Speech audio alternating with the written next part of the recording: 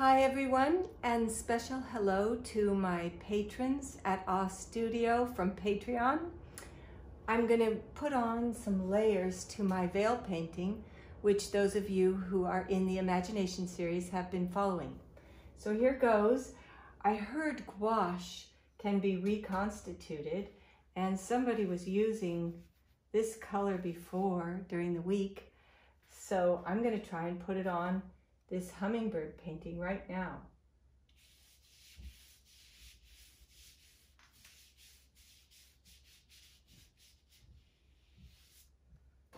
And you can see that's really beautiful.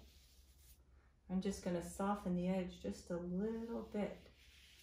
What a wonderful gesture. This blue is curving upwards and the hummingbird's body is curving outwards. Let's get a little bit of red too. And we will accentuate that body, that beautiful redness of the Anna's hummingbird.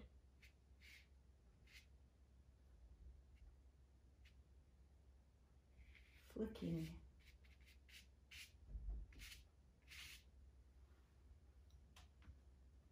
There's the gold too. This beautiful, rich warmth.